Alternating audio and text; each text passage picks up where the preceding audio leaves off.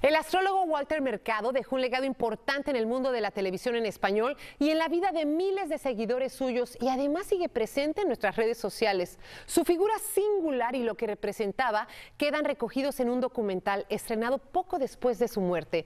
Carmen Márquez nos acompaña hoy para hablarnos de la entrevista que realizó a los creadores de ese documental. Buenas tardes, Carmen.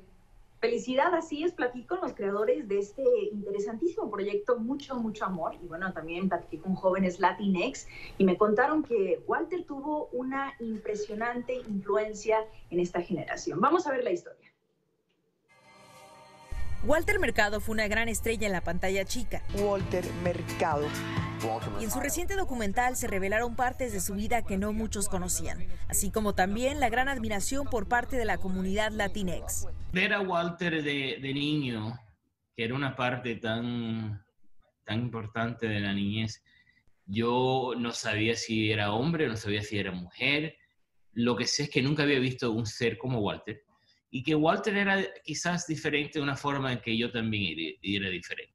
El legendario Walter Mercado no únicamente impactó miles de vidas, sino que también se convirtió en un personaje familiar en la comunidad latina y que atentamente escuchaba sus predicciones astrológicas. Desde que era un niño, la gente me tocaba para la buena suerte. Nosotros crecimos con él. Todo el mundo, desde que Walter Mercado estaba en la pantalla, todo el mundo se callaba y ponieran atención.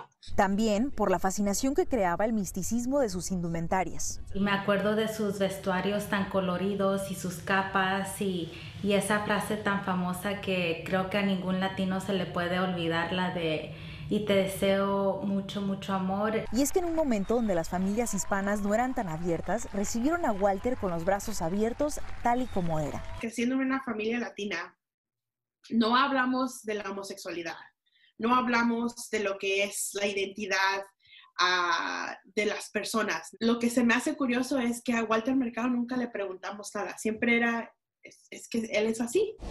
La producción de Mucho, Mucho Amor tuvo que recurrir a ciertos trucos para que Walter hablara de los aspectos complicados de su infancia. Le dijimos, tenemos que hablar de las partes más difíciles. Y tú sabes, hay que darle crédito porque él llegó, se sentó con nosotros y nos contestó todas nuestras preguntas. A pesar de que en los últimos días la vida de Walter estuvo marcada por el dolor, su actitud positiva lo mantuvo hasta su último día. Mucho, mucho, mucho qué? Amor. Así es, pienso que todos nos podemos identificar con los sentimientos expresados por estos jóvenes Latinex. ¿Quién nos recuerda estar viendo a Walter en la sala de la abuelita, del tío? Felicidad. De acuerdo contigo, y después de ver el documental, uno lo acaba queriendo más, tan amoroso y singular el gran Walter Mercado. Gracias por esta pieza, Carmen. Gracias a ti.